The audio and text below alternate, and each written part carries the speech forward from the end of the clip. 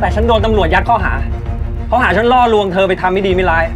คุณก็เลยตามมาคุกคามฉันถึงที่นี่ เฮ้ย